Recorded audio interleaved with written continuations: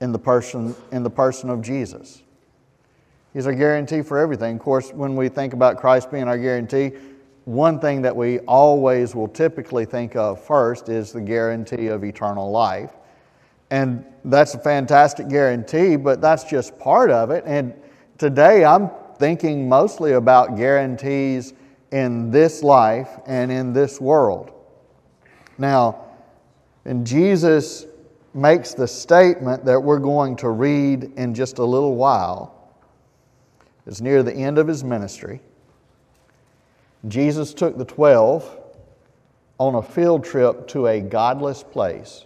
You think about all of the field trips Jesus might take somebody on, and you might think of this place or that place, but you would rarely think of Jesus taking you to a godless place. But Jesus took the 12 disciples to a godless place named Caesarea Philippi. Now, Caesarea Philippi was one of the most religious places in the world in that day and time, but it was a religion of the Greek gods. It was located at the foot of Mount Hermon.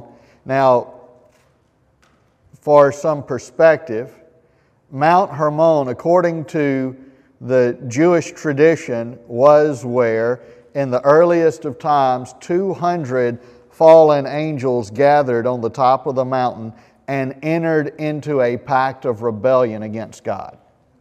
You're not going to find that in our 66 books, but that's Jewish tradition.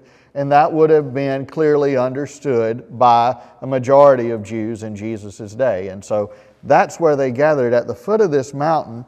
And there in that location was a shrine to Caesar and a shrine to Pan, the Greek god who had goat's feet.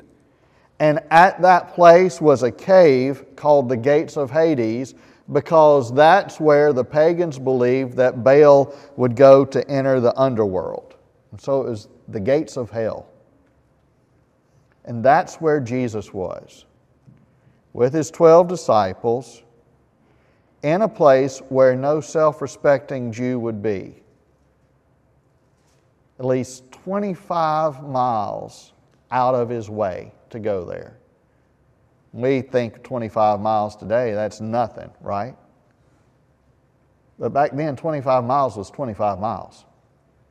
You had to walk there. 25 miles out of his way in a place where no self respecting Jew would be, in this godless location, that's where Jesus chooses to ask the disciples the most important question that has ever been asked Who do people say that I am? And you remember their answers. Well, some say you're John the Baptist, some say that you're Elijah or one of the prophets risen from the dead. And then Jesus brings it home and he says, But what about you fellas? Who do you say that I am?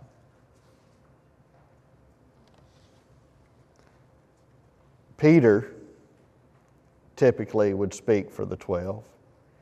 And in my imagination, as I play this out like a movie scene in my head, I can imagine that Peter looked around at all of those shrines at Caesarea Philippi the shrine to Caesar and the shrine to Pan, all of those shrines that stood towering over them, that stood so high above Jesus' head. And maybe he looked over at the gates of Hades, and Peter says, Well, you're the Christ, the Son of the living God. And Jesus blesses Peter. He says, Blessed are you, Simon, son of John, because flesh and blood didn't reveal this to you, but my Father in heaven. And then Jesus says this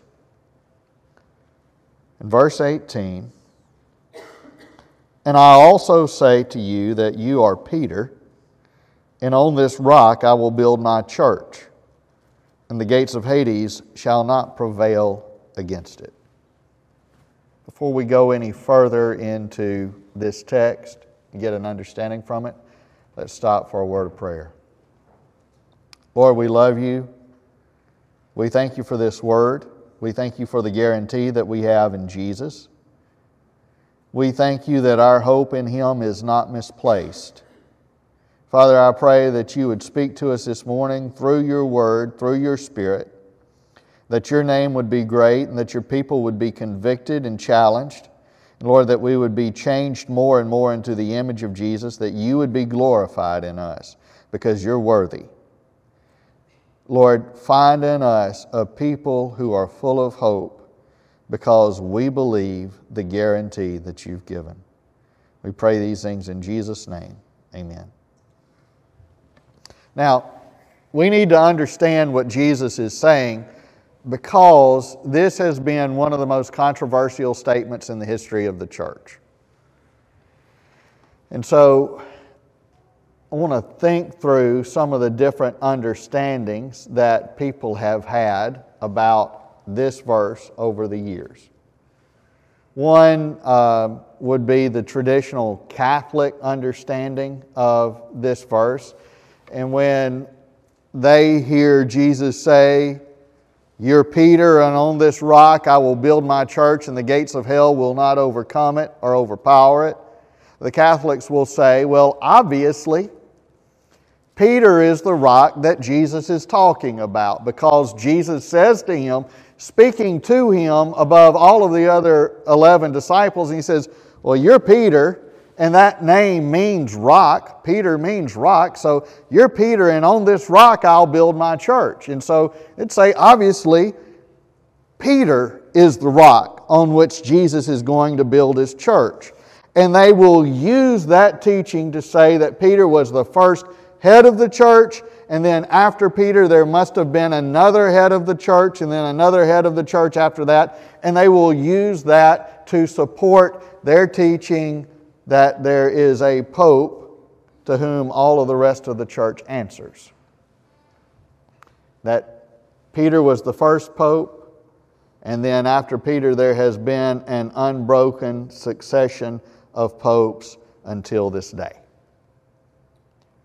Now, a second understanding of this statement would be that Peter's not the rock that Jesus was talking about, but this confession that Peter made before Jesus. When Jesus asked Peter, Who do you say that I am? and Peter answers, Well, you're the Christ, the Son of the living God. He's confessing his faith in Jesus. And so, a lot of people would say that this confession that Peter makes that Jesus is the Christ, that's the rock. The statement that Peter makes is the rock. And on that rock, on that confession of faith, that's what Jesus said he's going to build his church on. Or maybe that the gospel itself is the rock on which Jesus builds the church. Or in another, another form of this understanding is maybe that Jesus himself is the rock on which he would build the church. So there's two. One, that Peter is the rock. Two, that the gospel or confession of faith or Jesus or faith in Jesus is the rock. Now, there's another understanding that's probably the newest understanding of this, and it's that Jesus is saying to Peter and the rest of the disciples, I say to you, you're Peter, and on this rock, and there he's talking literally about the rock that he was standing on. On this rock, I'll build my church, meaning I'm going to build my church on godless places just like Caesarea Philippi, and no devil in hell is going to overcome it It's a possibility. So there's, there's the three basic understandings of what this verse means. And you say, well, which one is it? And I'll tell you, I don't really know, just to be honest. I don't know. I, I think I would have to be in that moment, hear the inflection in Jesus' voice and any gestures he might make on this rock or on this rock or on this rock I'll build my church. I don't know. I can see some logic in all of those. However, I will add, I don't, even if Jesus is saying that Peter is the rock, I don't mean, I don't think that justifies having one man that makes all of the decisions for the whole church around the world. I don't believe it supports a notion of having a pope. But whatever the rock might be really doesn't matter to me right now. Jesus is saying that he's going to build the church and that the church is going to stand. The church is guaranteed to stand even in the face of incredible odds. Now, I want to point that out because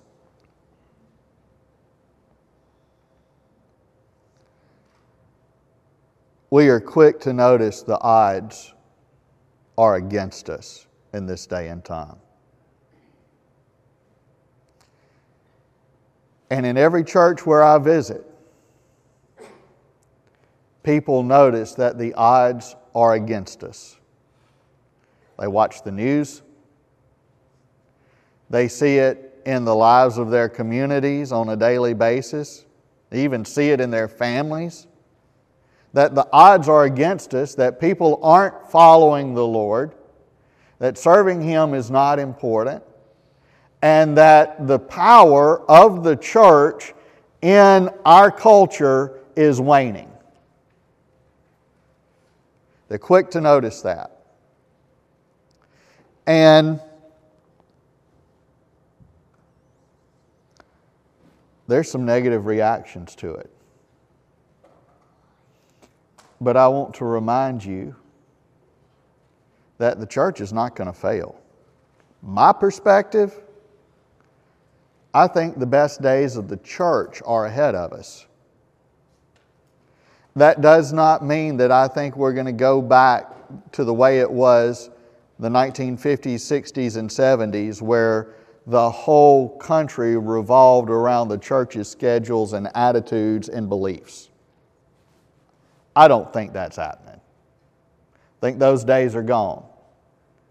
But what I mean is this as the world drifts further and further away from the truth of the gospel, and it becomes harder and harder to be committed to Jesus, I believe that those who really belong to Him will firm, be firm in their resolve to follow Him and they will hold on tighter to Jesus because He's their whole life. Against the blackness of night, the brightness of God's people will be brighter and brighter. I think the church will be truer and more pure. And that's why I believe the best days of the church are still ahead of us. And y'all, I'm really encouraged. Because that faith doesn't fail. I've prepared myself for hard times, but I believe that good times are coming too, right along with them. And so Jesus says that He will build His church and that church is going to stand even in the face of incredible odds. And when He says that, He's serious about it because He chose to make that statement in a place where devils were worshiped, and he declared that no devil in hell would destroy his church. At a place called the gates of Hades, he said that the gates of Hades would not overcome the church. You need to understand that Jesus is walking right up to hell and he's spitting in the devil's eye.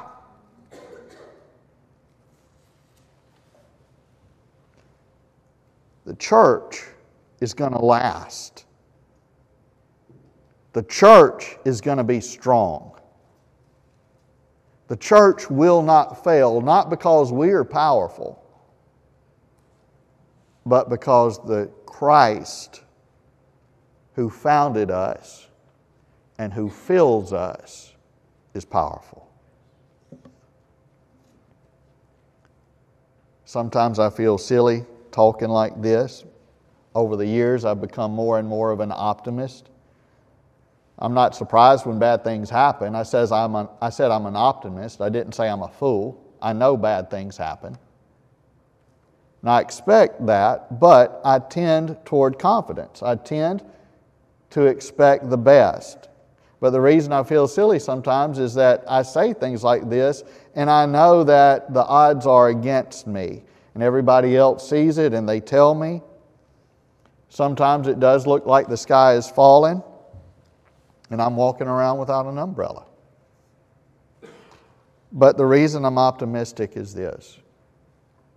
Even though I know that the devil is going to do everything that he can, and even though I know the gates of hell are intimidating, in the end, I believe everything's going to be okay because Jesus is going to see to that. The reason that I'm optimistic is that I have the guarantee of God Himself that every promise of Scripture will be fulfilled. And I don't doubt Him. I have doubted Him. And it shook me to my very core. But I've learned that He's true, and every word He speaks is true. And whatever He says, He's going to do. We can count on that.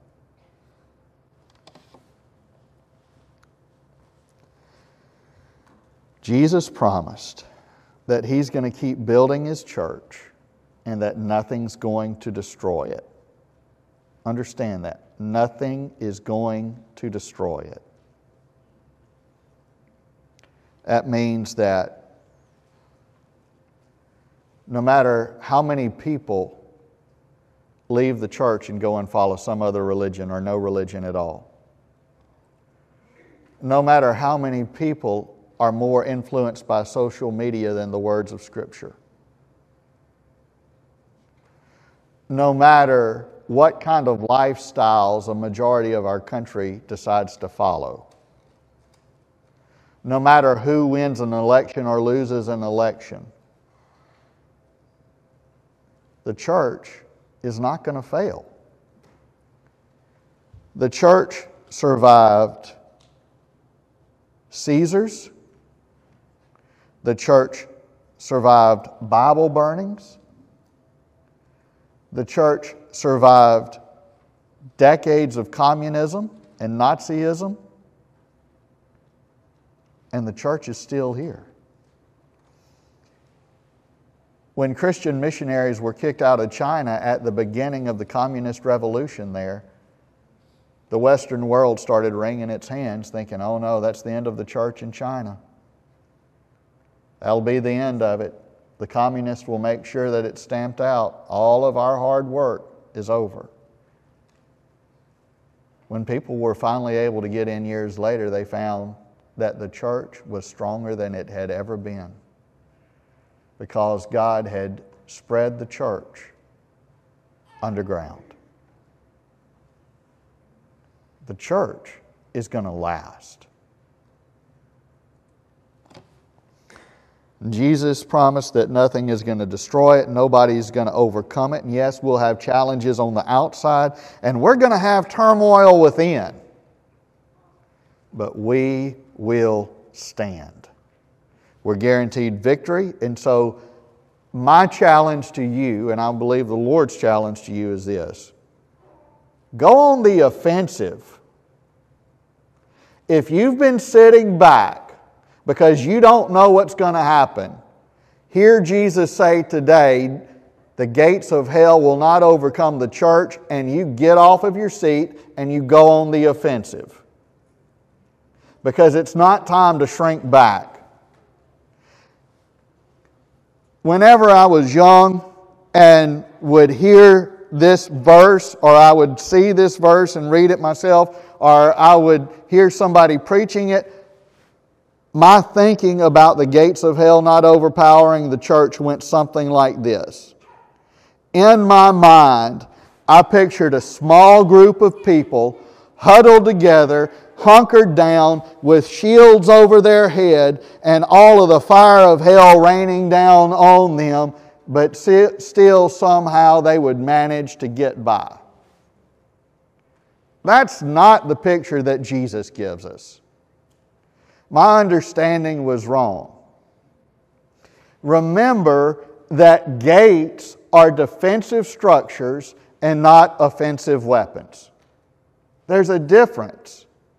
You put up gates not because you want to attack somebody, but you put up gates so that people can't get into you to attack you.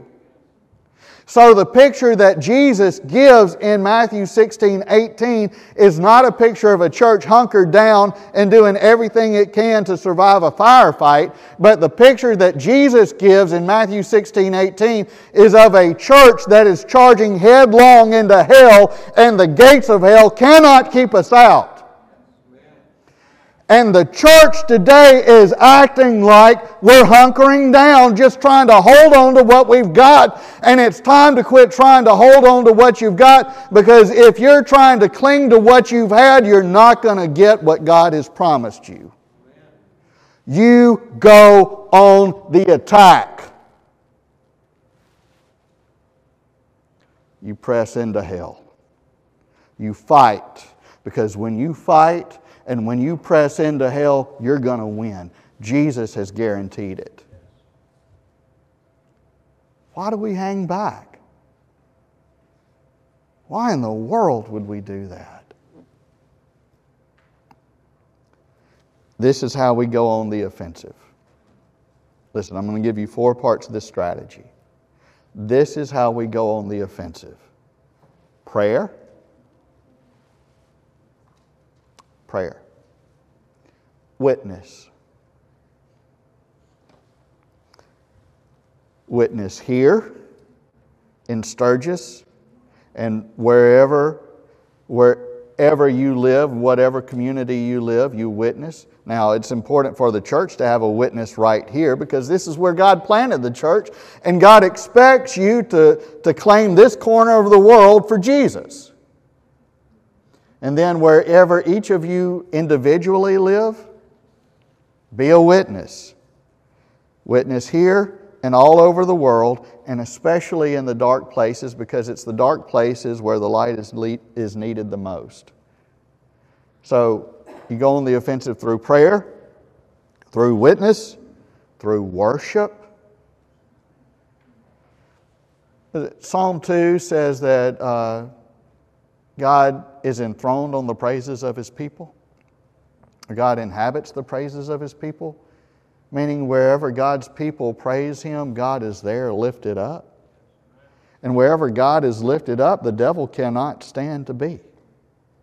You want to go on the offensive? You want to take the fight to hell? Then worship. Prayer, witness, worship. And this one's critical love. Psalm 133 says, Behold, how good and pleasant it is where the brothers dwell together in unity. And then there's descriptive phrases about the unity being as sweet and fragrant, fragrant as the oil, the ordaining oil on the priest Aaron's head and beard. And then, then it says, sweet and refreshing as the dew on top of Mount Hermon that would collect and gather and run down and water all of the mountains below. There's all of that in Psalm 133, but if you take that descriptive language out about the anointing oil and the dew on the mountaintop, and you lift it out of the psalm and you set it aside, and then you squish the first part of the psalm to the last part of the psalm, you can read that psalm and get the main point, and it says this Behold, how good and pleasant it is when the brothers dwell together in unity, for there, wherever the brothers dwell together in unity, there God commands the blessing.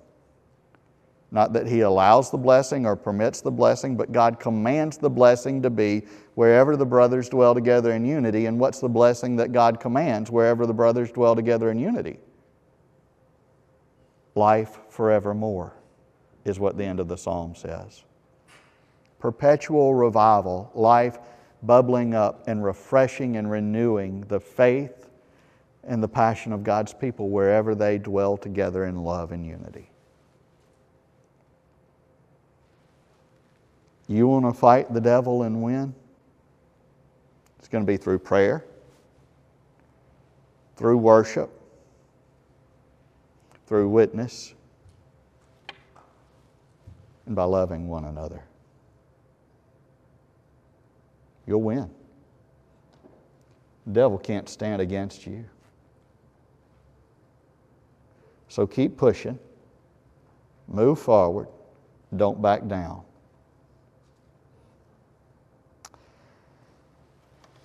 And I say that to encourage you because it's very easy to get weary in this.